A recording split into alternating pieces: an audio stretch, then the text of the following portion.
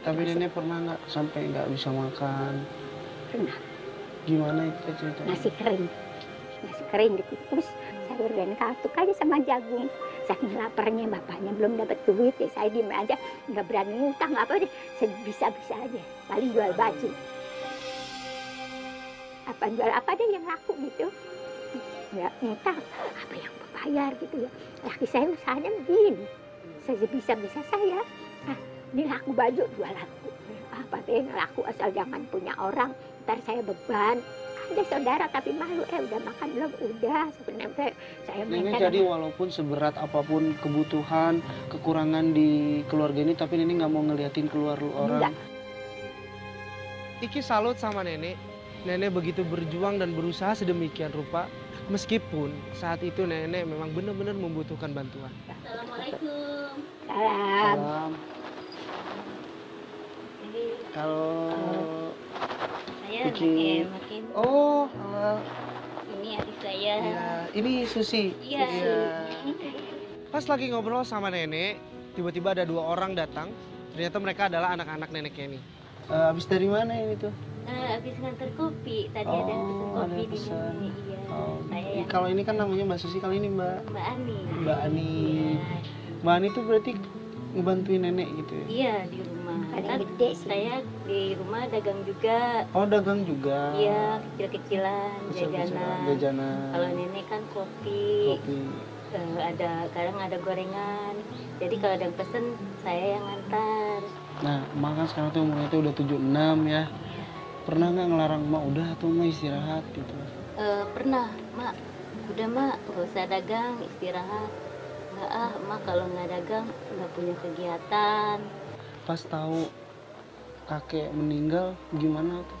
Sedih saya nggak nggak ketemu sama Mm-mm. orang tua kan untuk terakhir kali. Mm-mm. Semenjak itu baru nenek berjuang Sendiri. Sendiri. Buat keluarga. buat keluarga, buat Susi.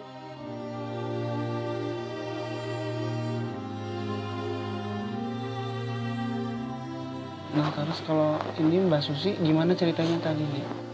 ceritanya dia sih lahir kaki dulu satu satu jalan juga lapar Hmm, Pas mulai tahu nggak bisa bicaranya itu dari udah Kan itu lahir kata Mak nggak nangis. hmm, bisa anteng aja nggak tahu mah nggak bisa ngomong tapi tetap aja mamanya sayang nggak mau ya. disia-sia ya Karena mau di mana pun ini titipan Allah ya. Allah. Saya Anak juga begini dibawa ke adek banyak yang ngatain, iya deh nggak apa-apa. Adik Bagus. saya memang nggak Udah rezeki saya, udah dari Ah, atas, masa mau ya. ditolak tetap saya bak main. Iki sempat berpikir pasti sulit bagi nenek Kenny untuk merawat anaknya. Tapi ketika Iki ngobrol dengan nenek, Iki melihat tidak ada beban untuk nenek Kenny. Karena nenek Kenny menjalaninya dengan sepenuh hati, ikhlas pun sabar. Bersyukur berarti sekarang Mayan ya. Sok buka warung. Sampai Buka sekarang. warung sampai sekarang. Ini biasanya bukanya jam berapa?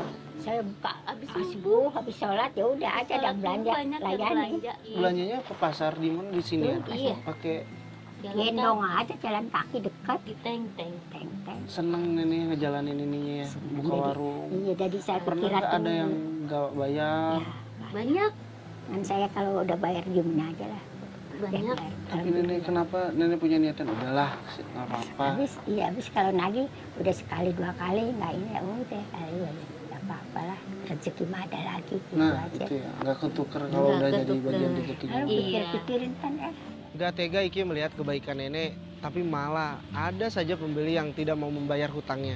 Tapi luar biasanya, nenek tidak pernah marah.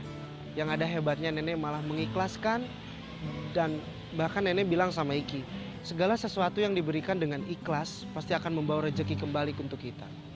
mudah-mudahan kasih sehat aja saya tapi alhamdulillah sih sakit-sakit juga nggak sampai brek ngebrek nggak paling ini rokin sus rokin gitu kan dia suka banyak yang nyuruh rok nyuruh mijit suruh nyabutin uban Banyak aktivitas Susi, Ki. Alhamdulillah. Alhamdulillah dia masih bisa istilahnya nyari duit buat jajan-jajannya. Ya, ya. Ada sabun, sabun colek. Sama kopi. Ini sabun coleknya. Ini sama ininya.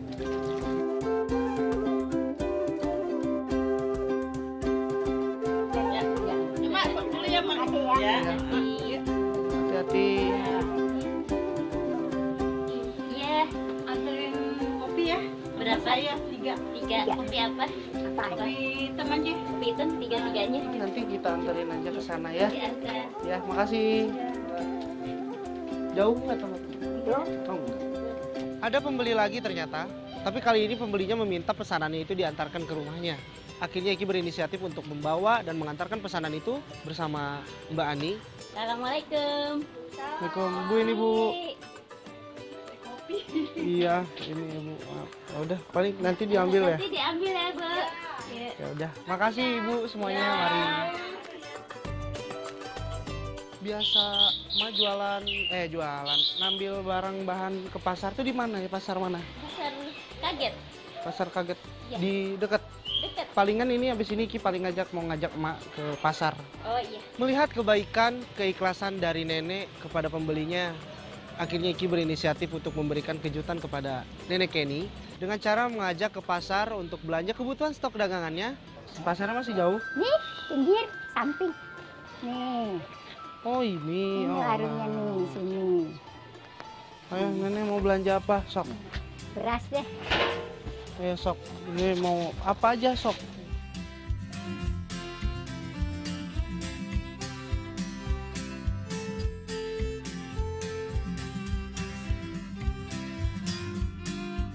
Melihat ekspresi bahagia nenek, Iki cukup bahagia. Mudah-mudahan dengan sedikit rizki yang Iki bagi kepada nenek Kenny ini bisa meringankan sedikit beban kehidupan nenek Kenny. Alhamdulillah semuanya. Ini mah udah ya, alhamdulillah buat kebutuhan. eh, semoga bermanfaat buat emak. Ya. Nah jadi buat semua kita bisa dapetin pelajaran banyak banget dari mulai dari yayasan, ya nih ya. Iya, Banyak banget di situ pelajaran yang kita ambil dan sekarang nambah lagi pelajaran dan ilmu yang bisa kita ambil dari sosok nenek Kenny. Nonton episode selanjutnya dari berbagi rezeki. Ya nek kalau gitu ya.